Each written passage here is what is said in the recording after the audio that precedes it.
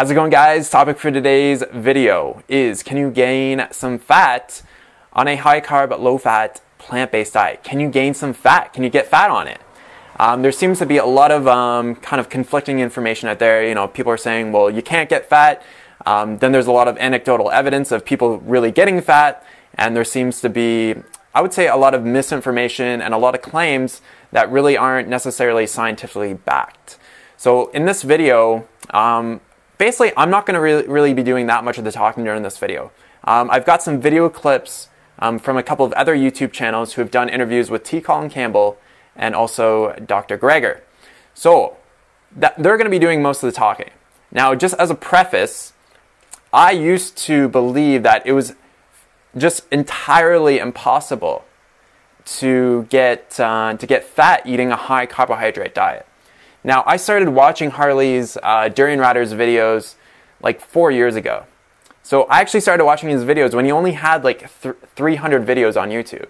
So this is going back a long time. So back in the day, I was probably one of the biggest Durian Rider fanboys.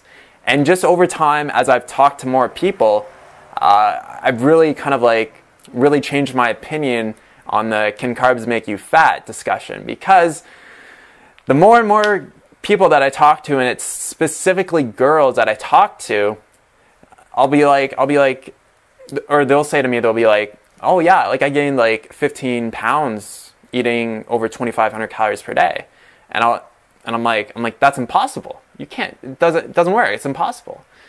And they'll uh, they'll be like, well, yeah, no, it happened. And, and then the first question that I respond with is, I'll be like, well, you must have had an eating disorder, right? And they're like, well, yeah, I kind of did. And then I was like, case closed, right? That's why they gained all the weight, because they had an eating disorder. Now, in this video, we're going to kind of uh, dispel um, quite a few of those myths. So let's get started. What are your thoughts on uh, calories in and out in general as far as uh, weight loss is concerned?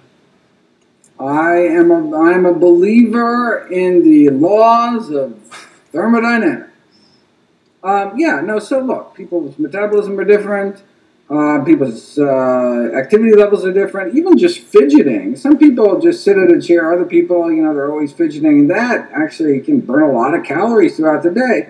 So some people need a lot more calories than others. But look, if you uh, lock someone in a room and you don't let them eat enough, they will lose weight, period. You know, and if you stuff them full of a lot of food, doesn't matter what they do, they'll gain a lot of weight. You can't outrun your mouth, essentially. So basically, what Dr. Greger is saying that you can you can gain weight. Like obviously, if you eat too much food, then you're going to be gaining weight. If you don't eat enough food, then you're actually going to be losing weight. In the like in the high carb um, area, there's also some belief that you know some people will say it's you, that you can eat unlimited amounts or that the carbs don't really turn into fat and that type of thing. That's why and some of them are recommending like quite a high calorie intake, like 3,000 or more, um, because they think that you know they're saying that the carbs aren't really uh, in the plant food world in the high carb world that you that the, that you wouldn't gain weight in that, but um, that's that's partly part of the question uh, or the reasoning for that, um, and also so what's your take on that general you know the thermogenesis? If you overeat carbs, when when I mean overeat, exceed your kind of daily caloric intake in carbs, you will build fat in the worst possible place, and that's in your liver. And so there actually, I mean, so this phenomenon which carbs turn into fat happens, and it happens in your liver, and you can run into liver inflammation. So if you just drank soda all day, um, and you'd have to drink a lot of soda, but I mean, you could exceed your caloric intake, and you uh, your liver you give that give yourself a week and uh, drink a couple liters of Coke every day, and your um, uh, liver function, your liver function test, which is a measure of liver enzymes spilling out your bloodstream because of the inflammation and cells dying in your liver. Um, uh, you know, and you can do ultrasound. You actually see the extra grams of fat that are building up in your liver. Um, so that's one of the reasons why industrial sugars, high fructose corn syrup and table sugar, um, are bad for us in excess is because of the liver toxicity. And part of that is actually the formation of fat in your liver. Which is something that you don't want to be doing. That is not not good at all. Not good at all. Lots of inflammation. Not good. Let's let Dr. Greger continue.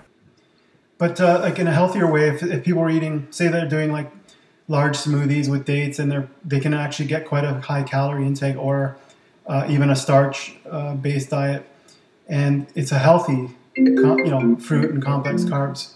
Do you know how many potatoes you'd have to eat to, I mean, to, to, to get a few thousand calories in? I mean, there's only a certain amount of stomach volume. And the wonderful thing about whole plant foods is that they're so calorically dilute. I mean, if you look at a, um, a plate of 100 calories of broccoli, 100 calories of strawberries, you compare that to 100 calories of cheese or chicken or chocolate for that matter, you can see how you can eat a tablespoon of oil, get 100 calories, and you wouldn't even notice the difference, right? I mean, you, you have an oily taste in your mouth, but you wouldn't feel any fuller. Um, whereas you ate 100 calories of broccoli, all right, now you're, ugh, right? Um, uh, you know, that's a big bowl of strawberries. And so there's only a certain amount of food you, you could stuff in. And so, I mean, that's the nice thing about eating whole food, plant based diets. You don't have to worry about carb counting, calorie counting, portion control, any of that. In fact, I don't even have to worry about nutrients. Am I getting enough zinc or am I getting enough iron? If you're eating a variety of whole plant foods, all that's going to be taken care of with the exception of B12. So to me, this type of nutritional um, advice when you see people, when you see guys like pour bags of sugar into their smoothies or into uh, bowls of cereal, to me doesn't really doesn't really kind of seem like sound nutritional advice. That's just my opinion. That's just Dr. Greger's opinion. You're welcome to form your own. So just to reiterate, he's promoting whole plant-based foods. So that doesn't include refined sugar. And as well as like I just mentioned earlier, smoothies as well is not necessarily an entire whole plant-based food. You have to think of the blending process. You're literally processing the food, smashing the food a thousand times with a metal blade, and to me, that's not really a whole plant-based food. I could literally take 15 bananas, put it in a smoothie jug, blend it up with some water, drink it down really quickly. But if I were to actually sit down and eat those 15 bananas, like actually peel them and eat them, I don't think that I'd be able to eat 15 uh, bananas. It would take me it would take me a lot longer to do it if I actually sat down and worked at it. Like maybe I could eat six or seven or eight, maybe, but I definitely don't think that I would be able to eat 15 because you're basically processing the food when you're blending it, and it's no longer a whole food anymore. You're processing it.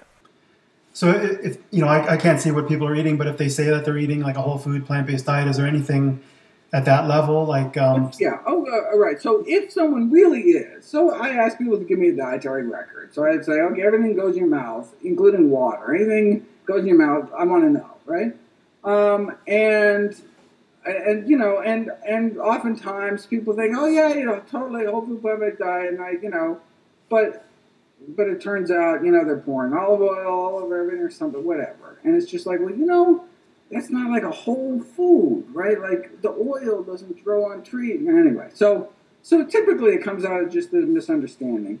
Um, uh, in fact, I don't think I've ever had someone actually was eating a whole food plant-based diet that that couldn't arrive at that. So typically, there's a little bit of a misunderstanding in the high carb communities, thinking that all these smoothies, um, all this white refined rice, um, all of these uh, refined carbohydrates in the form of sugar that people kind of maybe think that they're whole foods and that they're not going to get fat on them.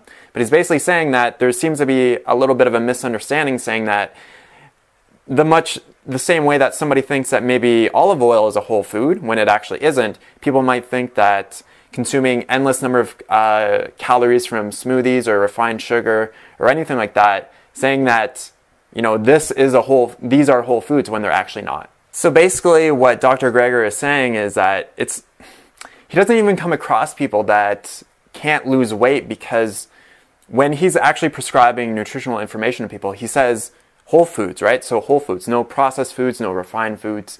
Don't be pouring sugar in your smoothies. Don't be blending up all of your food. We're going to be talking about smoothies in this one right here. You know, look, it's possible. I mean, there are calorically dense foods. dried fruit, nuts and seeds, avocados, smoothies. Actually, liquid calories aren't registered the same way by your body because we weren't meant to basically drink our calories, right? Because they didn't really calories didn't really exist in liquid form. So Dr. Greger here is saying that calories don't exist in liquid form in nature. They don't really exist in liquid form in nature. So our bodies are not designed to be consuming liquid calories because it doesn't trigger our body in the same way as if we're actually eating the food just as it is, right? And so it kind of bypasses. That's why we think drinking soda is worse than eating candy, even if you had the same amount of sugar, because like you're just getting all these calories into your system before your body can be like, whoa, wait a second. Wait, we just had 200 calories. Well, what? You know, it's kind of too late to shut off your appetite, you know, suppress your appetite. Um, so, um, you know, so theoretically, um, right, so if you're right, you ate lots of smoothies, lots of really calorically dense foods, and you ate all day and you had little activity, you could you could you could balloon up to any size you want. I mean, you could gain as much weight as you wanted to gain, um, but I think you just have to put some work into it. And so, if someone was in that situation, I would encourage them to move towards less calorically dense whole foods. Again, this is not something I think is common, but. So basically, what Dr. Greger is saying if you're having troubles losing weight, um, eating a high carb plant based diet, move to more calorically dilute foods as opposed to more calorically dense foods. So this kind of ties into the whole thermodynamics thing, which is like chemistry, right? So this is like science. So what Dr. Greger said earlier was that you know calories in, calories out. So this is um, this is really interesting because a lot of people will say I eat an unlimited number of calories, which means which might mean they're eating uh, 3,000 or 3,500 calories or something like that, right? Like just a really high number. And they're like, well, I, I lost weight eating this amount of food. Or I lost, or I just maintain my weight. Like I'm not gaining any weight. So basically when they say this, like this is chemistry, this is basic chemistry. So if you're eating 3,000 calories, that also means, and say you don't gain any weight, you don't gain any fat, that means that your body is also burning 3,000 calories. Now, say if you're eating 3,000 calories and losing weight, that means that your body is actually running a caloric deficit. It has to be. So even if you're eating 4,000 calories per day and your body's burning 4,500 calories per day, that's a caloric deficit and you're actually going to lose weight. Now, I'm not promoting calorie restriction in any type of way. It's just saying that your body, if you're giving it the proper food, whole plant based foods, then naturally your body is probably just going to actually burn more calories than you're ingesting because your body wants to get to a healthy body weight. And this is what all the plant-based doctors see is that when people move to this healthy plant-based diet, they just lose weight naturally. Now you might be thinking, well, you know what? I don't I'm not I'm a little skeptical, you know, maybe people are gaining the weight because of metabolic damage, which is something that I've actually only heard in this community, right? In the high carb uh, plant based community. It's metabolic damage. The reason why you gain weight is because in the past you've restricted calories, and so now since you're eating um, basically enough calories, that means that you are basically packing on the weight because your body used to be in a starvation mode, and now it's just going to pack on weight. And that's why so many people are gaining like 30 or 40 pounds. So this is uh, T. Colin Campbell who wrote the China Study, which is kind of like a popular book in the plant-based community I'm just going to let him um, talk about that. Like, um, I guess maybe a better way to put it is I hear some people talking about their body going into uh, starvation mode. Like they they hoard they hoard these calories after they've been starving and they store it as fat because their body thinks that it's in a famine, and that's why they put on a lot of weight after people have um, eating disorders or come from low calorie or low carb diets. Or do you just think that's the way that your body metabolizes, metabolizes the different kinds of foods that you're eating once you're eating more? No, that's actually, I, I those kind of claims are really quite superficial. Mm-hmm. Uh, they're quite imaginary. I'm not saying this. T. Colin Campbell, the author of the China Study and the book Whole, is saying this. Yeah. Uh, and they, seriously uh, considered and talked about by people who have very little or no training in this area. Mm-hmm, it's just a popular thing. You know, they might want to say is. I just don't. Again, I can't. I, would have to know more what they're exactly talking about. Not you. You mentioned something, but that's that's all speculative. So it's imaginary and it's speculative. So have you heard of Freelee and Durian Rider? They're very popular on YouTube and Instagram, but if not, I can just explain. You explain. Okay, they um they talk a lot about people that come from eating disorders or low calorie diets, like fad diets, and that they have metabolic damage or they put their body into starvation mode, and that when they start eating a high carb, whole foods, plant based diet, that they pack on all this weight because um, they've damaged their metabolism and now their body is just storing all this fat to compensate for having not ate enough before. I think that's hokey. Hokey. I'm not saying this. Colin Campbell is saying this. I don't. I, I really don't think there's any basis for that claim whatsoever, because uh, we have done. And when I say we, I'm talking about uh, two sons, in fact. Uh, one who's the director of the film, and the other who's a physician. Mm-hmm. You know, the one that co-authored the book with me, uh, as well as other colleagues. And uh, what we see, I mean, it's really remarkable. I did not, fact, expect to see what we are seeing. That, that is, people who are on an Atkins diet or these other crazy kind of diets, you know, when they go on a whole food plant based diet, their problems resolve so fast and so well. They lose weight, they don't gain weight. So even if you're coming from a history of crazy fat diets um, where you've restricted calories in the past, that doesn't mean that you should gain weight like Colin, he's saying this right here. You like you should just lose weight. They don't all of a sudden gain weight, you know, from being on a bad bad diet, and, and uh, the whole the high carbohydrate diet means high natural carbohydrates. Yeah, I'm talking about you know refined carbohydrates. Refined carbohydrates, which could mean blending, processing fruit into smoothies, as well as pouring sugar, all that kind of stuff. I'm talking about the carbohydrates that are obviously present in whole plant-based foods. Yeah, like fruits and starches. Yeah, of course. Yeah, I, I, I don't believe that what you just said. That other thing you're talking about. So T. Colin Campbell basically saying metabolic d- damage doesn't really exist. Um, if you're moving to a high carb plant based diet, you shouldn't be gaining weight. Um, granted that you're actually eating whole foods, which we uh, which we were talking about. You know, all these blended smoothies, all these refined carbohydrates, not whole foods, and can make you gain weight. Now, with the Raw Till Whenever movement, Hannah and I we talk about intuitive intuitive eating. So, intuitive eating is just kind of like a fancy word for eating. So basically, what that means is when you're hungry, you eat. When you're not hungry anymore, or when you're full, that's when you stop eating. Now, Durian Rider has labeled this as an eating disorder. That's really kind of confusing because it just doesn't make any sense to anybody, including T. Colin Campbell. Um, I guess like a question that piggybacks off of this is what do you think of intuitive eating versus eating to hit a certain calorie number? Forget the calorie question when you're eating a whole food plant, it's not about calories, except in extreme conditions. I mean, obviously, can you know really pig out on the right kind of diet if you keep on doing that every day and you don't exercise. Yes, it could be a weight problem possibly.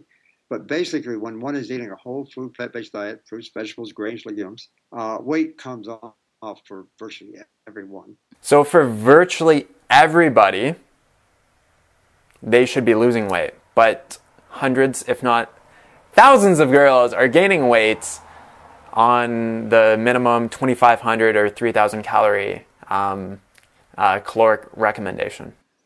And uh, you don't need to count calories. The body regulates how to, what percent of the calories to actually digest and use. And, uh, you know, that's, it's, it's a different way of thinking. The calorie question is an old story. I mean, like, do you think that you should be hitting a certain minimum every day to ensure that you're getting enough or just eat till you're full? No. Just eat till you're full. in Asia and the countries where they tend to do more of the plant-based kind of thing uh, than we in the West have done, in those situations, there's a popular sort of view amongst the common people that they should eat until they're 80% full. It's kind of interesting. Um, but the fact of the matter is, when people consume a whole food plant based diet, they fill faster. You know, in other words, their hunger sort of dissipates. They don't necessarily be hungry. Uh, and they the body fills up with lower density, lower calorie dense foods. And so, you know, they they just feel naturally. They don't feel stuffed when they're done eating. Because uh, there's like a lot of people in. Have you heard of raw till four? It just means eating um two raw meals a day, like fruits, and then the last meal is like a starch. And they they recommend like eating like 3000 calories and if you're not eating 3000 calories and you're doing it wrong and like stuffing yourself and a lot of people complain about gaining weight and I personally think it's because people are eating past like satiate sati- sati- satiation sorry and uh, it's not really to do about the calories it's that people aren't listening to their bodies would you agree Yes, actually, on that point, I generally do. yeah I mean, the, the thing about this whole idea that is really pretty remarkable there, there's something Europe now. Uh, no, the, uh, the you know the thing that we don't. I mean, I've been in this research field for 59 years, to be honest, about a long, long time, and I know what the typical uh, views of professionals were during that period of time, and it's a little bit hard to get them to think differently at times. But what we have forgotten in this field of nutritional science is the whole issue concerning our extraordinary ability of our, of our bodies, you know, to do what is best for us. All we have to do is just eat the right food in general. Don't get too caught up in all the details. Now, just eat this kind of food, and the body sorts things out. How much to digest, how much to absorb, how much is this way, how much is that way. I mean, it's, it's complexity beyond comprehension. We'll never know all the, all the, you know, that kind of uh, those relationships, but we know enough to know what to eat. And and so as long as you're, you know, some days you eat a little less, some days more. We all know that, but you don't even pay attention to it, really. Uh, just eat that kind of food, enjoy it, you know, get onto that kind of taste. It's really good. so the the message that you're leaving is that if you want to eat like 3000 calories because you're hungry for it that's different than stuffing your face to eat a certain calorie number because you have to Exactly, you said it exactly right. You eat while you're hungry. You quit when you're not hungry. yeah Period. Just, that's the end of the story. So this is coming from T. Colin Campbell. So basically, what we promote, intuitive eating, is also promoted by all the plant-based doctors. They all say the exact same thing: eat when you're hungry, and then when you're full, that's that's when you're done. Like it's it's so simple. But when people make false claims saying that it's an eating disorder when it's actually just a normal way of eating, then there's obviously a lot of uh, there's a lot of confusion out there for sure. Now, with all that kind of like science talk, let's get into basically some of the anecdotal evidence. So there's a lot of evidence. Um, Hannah and I on the Raw Till Whenever Facebook group, as well as on YouTube videos eh, and on Tumblr as well, is we just get a lot of comments from people who've gained weight. A lot of people. This is only a small snippet of what we have. First one, I gained eight pounds, and that was enough for me. So that's only only eight pounds. That's not very much. Great video, Hannah. I gained 12 pounds in a few weeks doing Raw Till 4. Now I am down 14 pounds on the Tanny Raw style diet. We are all different. Congrats on your weight loss and speaking against the insanity of eating 2,500 plus calories from carbs and no fat. Crazy how many of us have gained weight. I gained 25 pounds while training for a marathon. I hope this way helps. I have packed on about 30 pounds on Raw Till 4 too. It's time for something different since that is obviously not working. Thanks for the ad. I started off on a Raw Till 4 vegan diet about a year ago and gave up, not the vegan part obviously, after packing on a little over 30 pounds. It's time for a change. I put on over 40 pounds on Raw Till 4, so not doing that now. Thanks to Hannah. Who wants to wait six years to fix your metabolism and lose weight? You will inspire so many people with this video, and I hope that they can see through the BS of other diets that have not worked for them. Till 4 is a bullshit. I went from being 5 foot 7, 125 pounds, to 5'7, 182 pounds in 14 months. I came to Raw Till 4 not to lose weight, but because Freelee's videos about animal rights opened my eyes to veganism, but I should have chosen a more chosen a more balanced vegan diet instead. I've been naturally skinny my whole life, eating whatever I wanted, including junk food. I've never been on a diet or calorie restricted, so my metabolism is not damaged. I actually went to my doctor and got my thyroid checked, and it's functioning perfectly. And I told him about Raw Till 4 and the meta- and metabolic damage, and he laughed at me for being so naive to fall for such a scam. I'm sorry, but I think I'll trust a doctor before I trust Freelee. He says there is no possible for, way for me to gain so much weight and be healthy because with dramatic weight gain comes a host of obesity related health issues. So I'm literally putting my life in danger doing this bullshit diet. The only thing later on me is my wallet from wasting so much money on way too much expensive fruit. This is seriously fucking bullshit. My body is covered in stretch marks now. I have them on my belly, inner arms, inner thighs, and above my butt. They're fuck they're fucking disgusting. Even when I get back to 125 pounds, my body will be fucking ruined. I gained 25 pounds over the course of 10 months on Raw until uh, Raw Raw till 4. I'm a fitness professional and I was teaching 15 plus classes per week plus my personal workouts. I followed the diet to the letter and still gained weight. I started watching your videos and eating more starches about 4 months ago and I've lost and I've lost 15 pounds and still losing. I still eat plenty of fruit but about 70% starch and more fat. Okay, so I've saved the best one for last. So this one is like stuff that like really kind of like motivates us to, you know, kind of get our message out about just eating a simple plant-based diet, eating whole foods, and just eating until you're satiated, which is pretty logical, simple advice. All right. Hi Hannah, I just found your channel. Maybe you can help me because I keep asking Freelee for help, but she keeps deleting my comments off her videos. This is a comment I posted on her last three videos and got deleted each time. I'm almost 17 years old. I've been vegan since before I was born. I do not have a history or a passive calorie restriction at all. In fact, I've always had a problem with overeating, and I've been a chubby kid my whole life. I grew up eating uh, lots of fruits, veggies, beans, grains, and nuts and seeds. It wasn't the healthiest vegan diet since my mom uh, made a lot of veggie stir fry and used oil liberally in her cooking, but it was so much healthier than the standard American diet. I was easily eating more than 2,500 calories per day on average my whole life. I always ate huge portions and had several snacks throughout the day. Because of this, I was 148 pounds at 5 foot 4 and only 15 years old. I discovered your channel almost two years ago and decided to give Till 4 a try. Since I was already vegan, all I had to do was cut out the nuts, seeds, and oils from my diet. I've been Till 4 since August 2013 and I have no cheat days at all. I've gained 56 pounds since then. Now I'm only 200. Now I'm 204 pounds, and my family and doctor are really worried about me.